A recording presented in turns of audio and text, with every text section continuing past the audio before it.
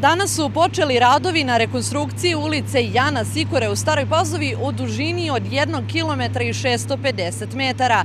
Prva faza izvođenja radova je od ulice Nikole Momčilovića do ulice Podunavskog partizanskog odreda sa obustavom saobraćaja u tom delu ulice Jana Sikore i preusmerenjem na ulicu 21. oktobar.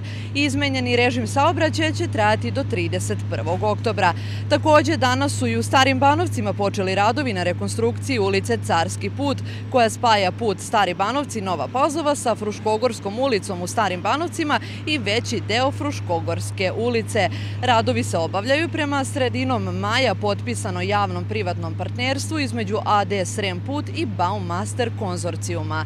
Plan je da do kraja godine, pored pomenute dve ulice u Staroj Pazovi, budu rekonstruisani još tri, i to Njegoševa, Hvijezdoslavova i Čmelikova.